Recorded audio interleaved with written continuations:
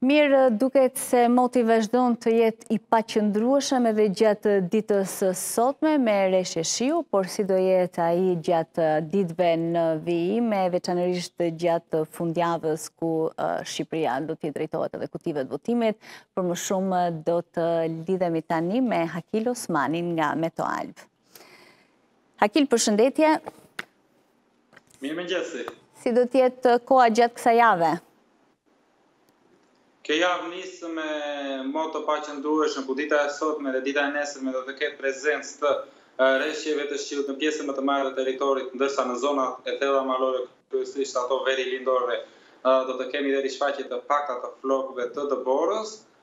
Për fat të mirë pritet përmirësim i kushteve të motit gjatë ditës së mërkurë dhe të enjte, por e premtja sërish do të sjellë reshje të shiut në territorin shqiptar, reshje të cilat do të jenë prezente edhe në pjesën e parë të ditës së shtunë.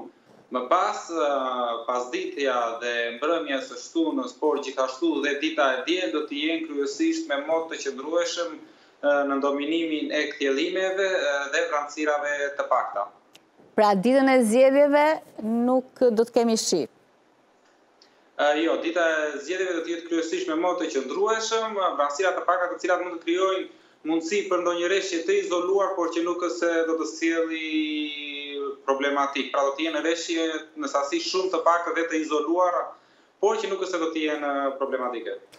Mirë, kjo është një lajm i mirë, si do të jenë temperaturat?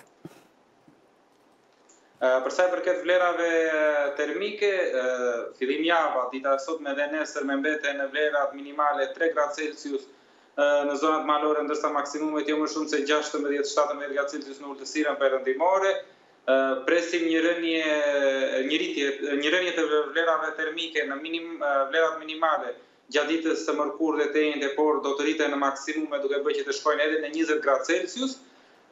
Dita e premte, duke qenë se do të ketë dhe prezencë të dukshme të reshjeve në territorin shqiptar, sjell një rënie me të paktën tre gradë Celsius në vlerat maksimale duke bërë që ato të shkojnë në vlerat shtatëmbëdhjetë gradë Celsius në zonat perëndimore të vendit tonë. Ndërsa, fundjava sjell rritje të ndjeshme të vlerave termike duke bërë që maksimumet të shkojnë edhe në njëzet e dy apo njëzet e tre gradë Celsius në zonat jugperëndimore. Mirë Hakil, si do jetë koha në Kosovë dhe Maqedoninë e Veriut gjatë kësaj jave?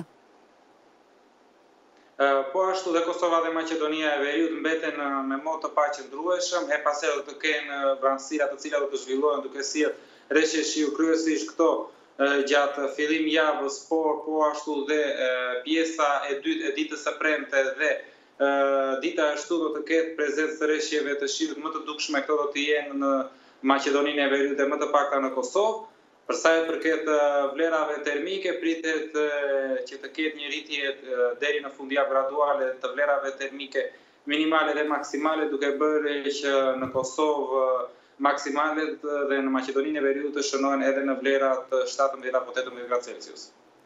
Akil, faleminderit shumë që ishe sot me ne. Javë të mbarë.